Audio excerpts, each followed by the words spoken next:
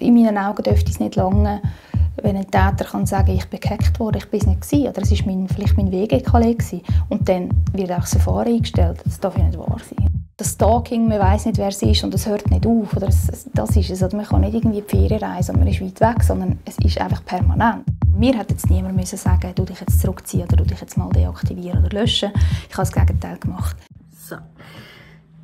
Hallo zusammen. Wir haben uns ja in den letzten zwei Wochen mit dem Thema Hass im Netz befasst.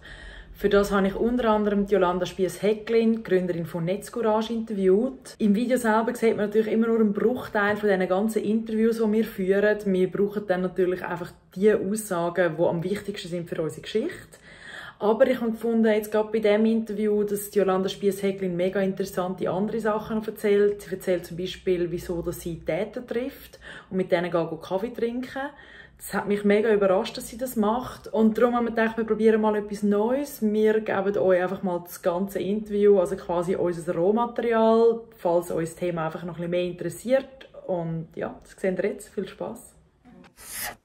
Die Staatsanwaltschaft sagt, dass sie, also die Staatsanwaltschaft Zürich zumindest sagt, dass sie immer das Rechtshilfegesuch äh, anfragen, wenn sie so Fake-Accounts haben, dass sie dann sich immer, immer bei den ausländischen Staatsanwaltschaften melden und die Daten anfordern und das weiterverfolgen. Ist das auch Ihre Erfahrung, dass es immer passiert?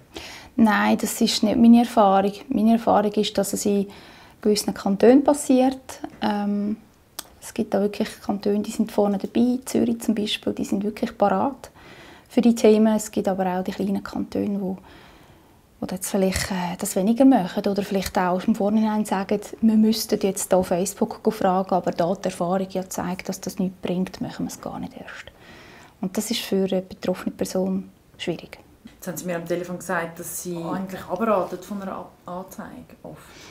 Ja, also es kommt einfach auf den Fall davon. Man kann nicht sagen, äh, es ist in jedem Fall gut, eine Anzeige zu machen oder es ist in jedem Fall äh, nützt das nichts. Wenn es jemand ist, der nicht damit kann, fertig wäre und auch Angst hat, dann sollte man die Anzeige machen, weil es eben irgendwo auch etwas löst. Dann, wenn es jemand ist, der sich jetzt nicht so belästigt fühlt, dann kann man sagen, man lässt es, man blockiert einfach und man versucht äh, weiterzugehen.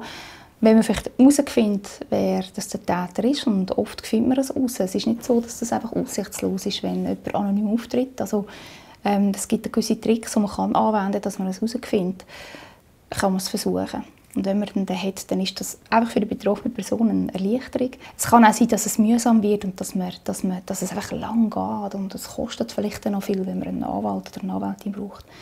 Und es ist schon so, ich glaube, ähm, man hat das Recht, Anzeigen zu machen. Also nehmen wir jetzt mal einfach Beschimpfungen, Drohungen, das ist ein Recht anzuzeigen und da muss niemand sagen, du tust damit den Staat überlasten oder äh, musst jetzt das kleine Ding da anzeigen. Nein, das ist ein Recht, das man hat und das sollte man machen, weil das macht man im analogen Leben auch.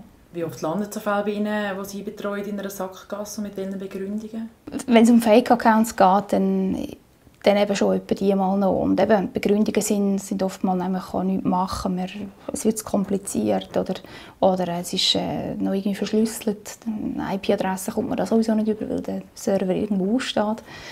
Ähm, und dann ist es auch so, für mich immer schwierig, oder, dass, dass den, den Betroffenen irgendwie beizubringen auch und ihnen nicht falsche Hoffnungen zu machen. Ich kann nicht sagen, äh, komm, das, das, das geben wir jetzt den Behörden und das wird schon gut und so. Das wäre das wär gelogen.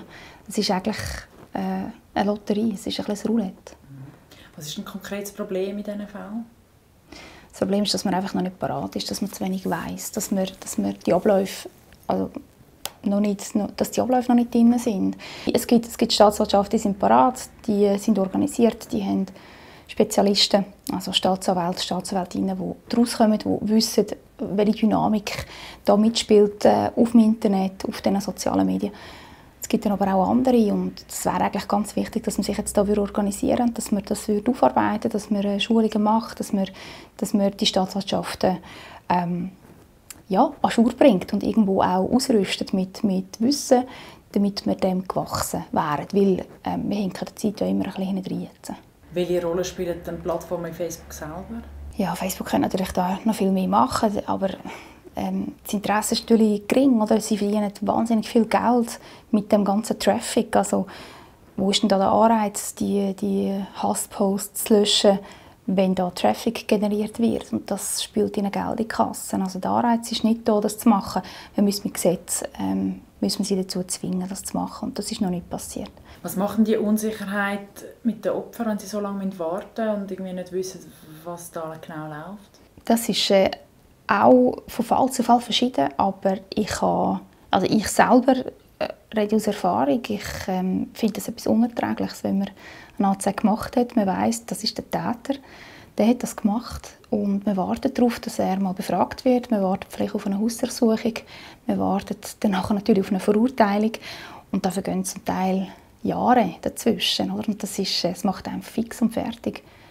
Ich rate den Menschen immer, dass sie oder Betroffenen immer, dass sie eine gute Psychohygiene machen, dass sie schauen, dass sie ähm, das Postfach nicht mehr voll von dem Zeug haben, dass sie das irgendwie können wegtun können. Sie können es zum Beispiel mir schicken oder sie können es einer Vertrauensperson schicken, die sie dort aufbewahren. Also Sie haben die zwei, ähm, die zwei Tipps für Opfer, was sie machen können. Gibt es noch andere Sachen?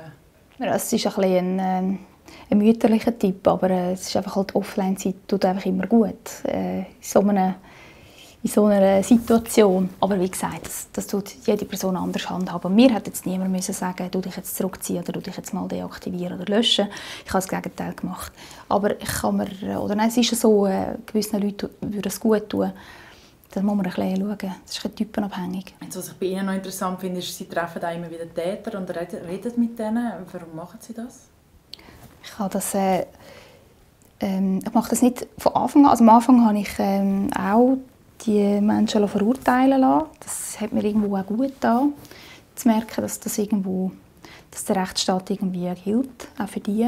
Und irgendwann, nach, nach dem fünften oder so, ähm, habe ich mich auf, einen, auf ein Vergleichsgespräch eingeladen. Also ich kann das auch ablehnen, wenn ich das nicht will, aber ich habe das dann gemacht und, und dann einfach auch gemerkt, wie es irgendwo gut tut. Also es hat mir gut getan, weil irgendwie es kann auch sein, dass, wenn man verurteilt wird, dass man nachher man hat einen Stempel von, einer, von einem Verurteilten, man hat einen Strafregistereintrag, man hat Mühe, vielleicht eine Wohnung zu finden, man hat Mühe, einen Job zu finden, wegen dem Strafregistereintrag, weil man einfach einmal die Grenze überschritten hat. Kann man sagen, ist das gut oder nicht, aber es macht aus diesen Menschen macht es nicht irgendwie zufriedene Menschen, sondern sie sich eher radikalisieren und werden vielleicht noch hässiger ähm, dann glaube ich, ist es äh, ein Versuch wert, mit, den, mit diesen Menschen zu reden und ihnen die Möglichkeit zu geben, sich zu entschuldigen. Und wenn das passiert, dann, dann ist es eigentlich für alle gut. Also dann, dann merkt der, der Täter oder die Täterin merkt, äh, dass ich ein Mensch bin äh, und macht das nachher eben auch nicht mehr, tendenziell. Das ist nicht bei allen so, aber äh, meistens ähm, wird nachher nicht mehr weitergehetzt. Und ähm, man kann sogar beobachten, dass, dass nachher den Köpfen wirklich ähm, eine Änderung passiert. Also dass die, die Betroffenen, die, die, die Täter, die Täterinnen nachher in ihren Filterbubbles irgendwie eine andere Haltung einnehmen und auch eher mal ähm, sagen, hey, hört, doch mal richtig lesen oder äh, überlegt euch mal, könnte das nicht ganz anders sein oder ähm, geht euch das überhaupt etwas an, so ein so. Ähm, das ist das, was ich nachher beobachte. Und ein paar von, von diesen, von diesen ähm, Täterinnen, die ich getroffen habe, sind jetzt auch Mitglied geworden bei, bei Netzcourage. Und das ist irgendwo auch, das ist echt ein Beweis, dass es wie gut ist, mhm. dass, äh, dass ich das versucht habe.